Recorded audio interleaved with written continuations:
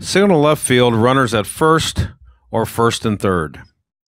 The goal in this situation is to keep the runner from reaching third base. As you can see, the left fielder gathers the ball and throws it to the cutoff.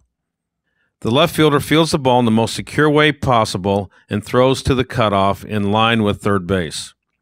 The center fielder moves toward the left fielder to back up the play and then retreats to a backup position in line with a potential throw to second base.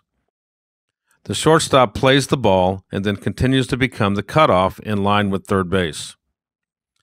The third baseman covers third base and communicates with the cutoff to let the throw continue to third or cut the throw and redirect the play to another base.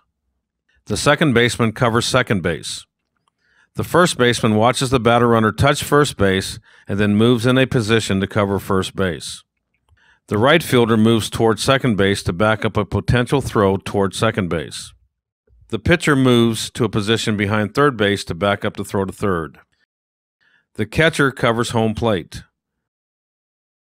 Let's take one more look at the timing, spacing, and movement on a single to left field with a runner at first or with runners at first and third.